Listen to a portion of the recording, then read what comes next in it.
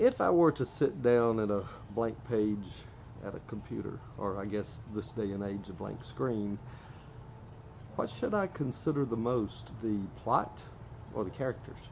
That's that's an age-old question. Typically, for me, the characters come first. I'll think about people and what sort of dilemma I can put them in, what sort of universal question I can ask regarding uh, their lives.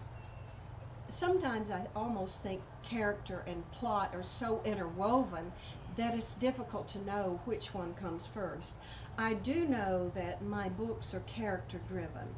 If I can make those characters come alive for me, if I can get right in the middle of their lives and stir up and mix up with them and know what scares them, what do they want more than anything, what's their goal, what's their background, if I can know those things about my character, I can literally follow those characters throughout a book. So I'm a character driven writer.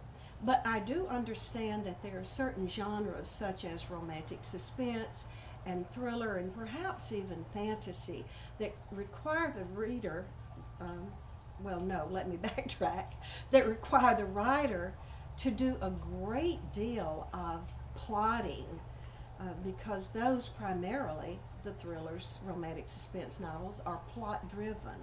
That plot has to be very tight and the writer has to know exactly when to move from one plot point to the next in order to keep the reader turning the page.